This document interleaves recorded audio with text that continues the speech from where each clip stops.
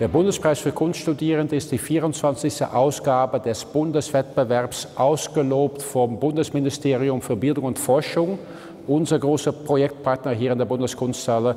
Gemeinsam mit dem Deutschen Studentenwerk richten wir die Ausstellung aus. Christoph Blankenburg wurde 1983 in Erfurt als Christoph Lenz geboren. Von 2007 bis 2019 studierte er an der Bauhaus-Universität Weimar visuelle Kommunikation. In der Ausstellung zeigt Christoph Blankenburg seinen Film Dieb am Rennsteig Extended. Seine Interventionen überraschen und bringen den Betrachter dazu, sich mit dem Ort und seinem eigenen Standpunkt auseinanderzusetzen. Die jungen Künstler und Künstlerinnen kriegen die Bühne, um sich breit zu machen und sich eigentlich vorzubereiten auf die Ausstellungspraxis.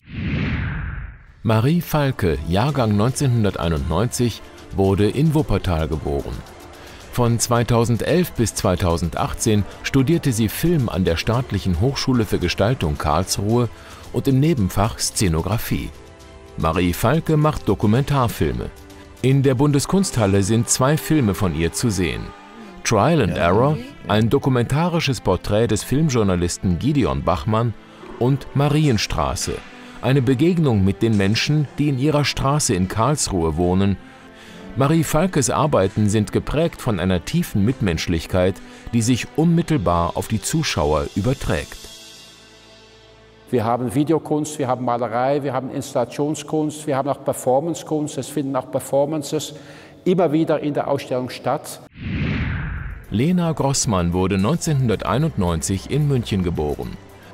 Seit 2013 studiert sie an der Akademie der Bildenden Künste München bei Olaf Nicolai und seit 2018 studiert sie zeitgenössische Komposition an der Zürcher Hochschule der Künste bei Isabel Mundry.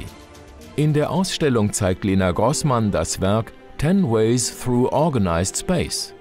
In einem Kreis befinden sich Markierungen für die Platzierung von Holzmodulen. Die Module werden durch Performerinnen zu unterschiedlichen Raumsituationen komponiert. Der Bundespreis für Kunststudierende ist ein Wettbewerb unter den deutschen Kunsthochschulen. Jede Kunsthochschule nominiert zwei ihrer besten Studierenden, insgesamt 48. Aus diesen 48 Nominierten wählt dann die Jury die Preisträger aus. Jan Zöller wurde 1992 in Haslach im Kinzigtal geboren. Ab 2012 studierte er an der Staatlichen Akademie der Bildenden Künste Karlsruhe und machte 2018 seinen Abschluss bei Professorin Leni Hoffmann, zu deren Meisterschüler er ernannt wurde. Er thematisiert das Künstlersein als prekären Beruf und setzt sich humorvoll mit Strukturen von künstlerischer Produktion und Kunstmarkt auseinander. In der Ausstellung zeigt er einen Querschnitt seines Schaffens. In diesem Jahr hat die Jury sieben Preisträgerinnen und Preisträger gekürt. Sie teilen sich das Preisgeld von 30.000 Euro und die Arbeitsstipendien im Wert von 18.000 Euro. Suin Kwon wurde 1989 in Suncheon, Südkorea geboren. Von 2013 bis 2019 studierte sie Freie Kunst an der Hochschule für Künste Bremen bei Professorin Rosa Barber. Davor, 2007 bis 2011, studierte sie Fotografie und visuelle Medien an der Sanghyung-Universität in Seoul. Ihre Arbeit in der Bundeskunsthalle heißt All Nights Without Exposure, All Growing with Ashes.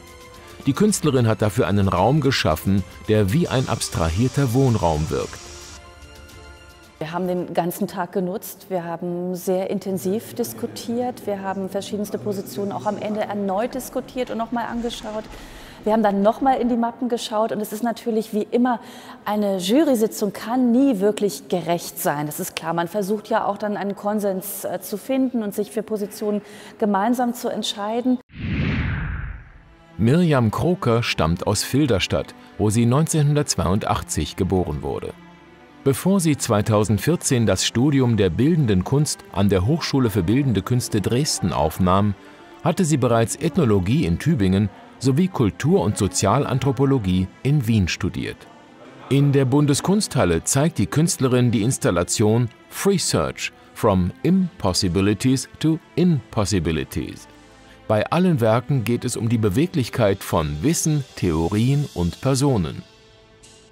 Ich möchte eigentlich alle Künstler und Künstlerinnen trösten, die dabei waren und jetzt nicht ähm, prämiert wurden. Es ist natürlich so, dass wir viele Positionen trotzdem ganz intensiv angeschaut, kennengelernt haben und ich denke, auch das ist schon mal gut für die Nominierten.